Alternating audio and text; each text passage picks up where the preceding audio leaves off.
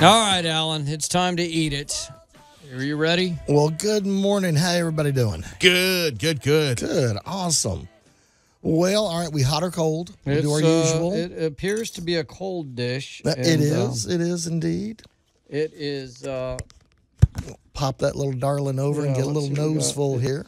Smells good. It looks like something blueberry-ish. It is indeed. It is indeed. It's just a little uh, shortbread blueberry cobbler. Oh, now, yeah. Allan, you've been uh, you've been on a roll with the dessert style stuff lately. What was it last week? We had those little cookies. Yep, yeah. Well, it's been kind of the uh, you know, it's it's social season. season. Yeah, it's right, spring. You know, it's everybody says bring a dish, and you you don't want to bring something.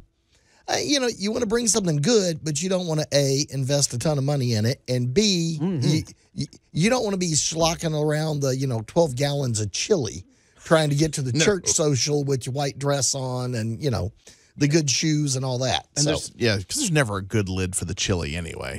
you know so i am all about let's let's cook something or make something that's gonna make it there still look good still taste good and it can sit on the table for a few hours you know that's the other thing everybody freaks out about well how long has that been on the table you know how long has that been out well you know with a nice cobbler you're good When you is go. the, when's the best time to get your blueberries uh, Of- from your backyard?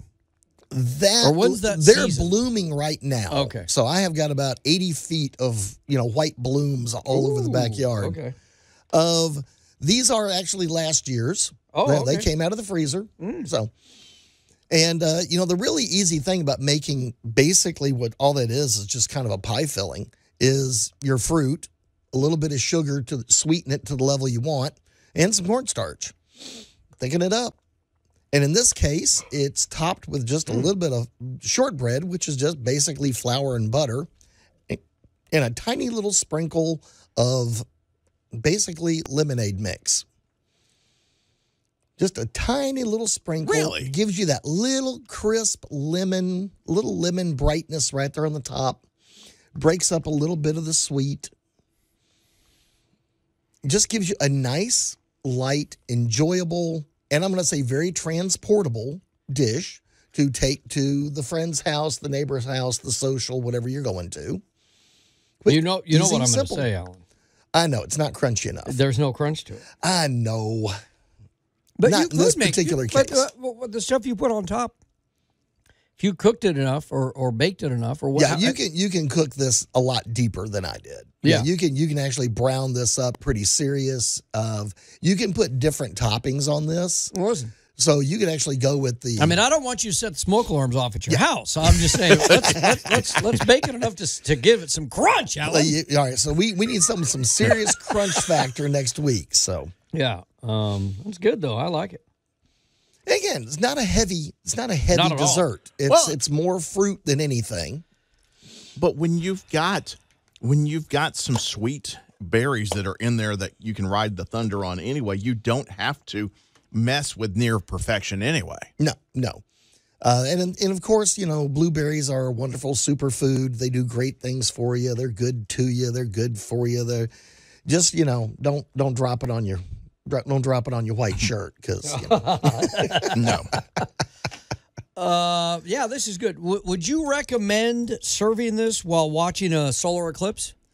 You know once again this is one of those social foods where Yeah. you can have you know a little pre-made pre-portioned out already got it set up and ready to go and monday is going to be a big day I, i've believe it or not i've had lots of people ask me for recipes for monday you know we want some quick finger finger food we want something while everybody's in the backyard Gathering. Yeah. because this is going to be like a two hour event Yeah.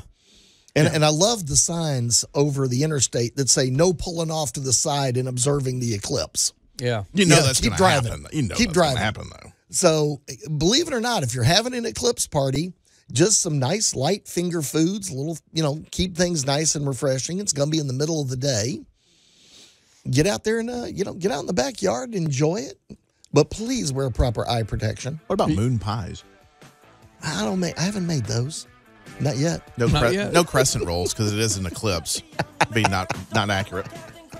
Yeah, that's important. Make sure the glasses you're you're staring at the sun with are proper Yes. protection. Yeah. Don't don't think your uh you know your fancy sunglasses are going to get it done. They, Yeah. They're not.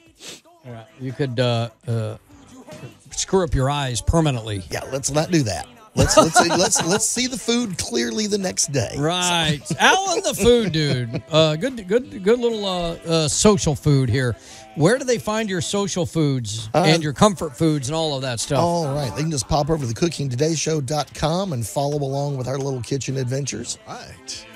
You even have a show called The Little Kitchen, don't you? Uh, we have, uh, let's see, Cooking in a Tiny Kitchen, and it came from the international market. Oh, two favorites. All right, Allan, the food dude. Thanks, buddy. Man, thank you.